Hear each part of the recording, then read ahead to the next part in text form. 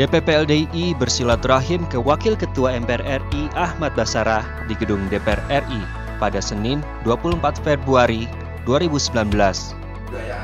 Dalam pertemuan itu, Ketua DPP LDI Prasetyo Sunaryo menyampaikan beberapa aspirasi dari LDI. Pertama, mereka berdiskusi mengenai bahasa Indonesia sebagai pemersatu bangsa yang perlu disosialisasikan dan dilestarikan dalam sosialisasi empat pilar oleh MPR RI. Kedua, soal sensus sumber daya alam.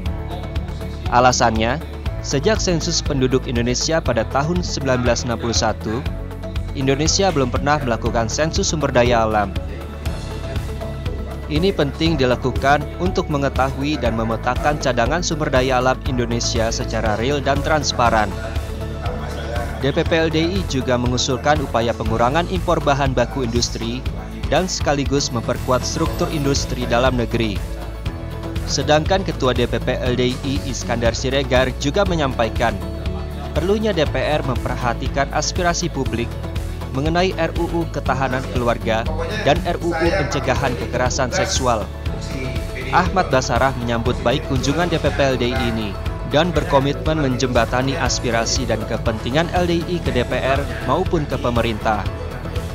Acara ditutup dengan foto bersama dan penyerahan cindera mata dari DPP LDI kepada Ahmad Basara.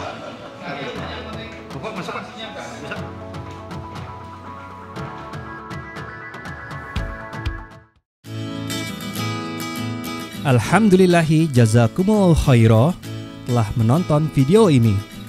Jangan lupa klik tombol subscribe untuk menunjukkan dukungan ke channel LDI TV dan klik tombol lonceng untuk mendapatkan update video terbaru. Wassalamualaikum warahmatullahi wabarakatuh.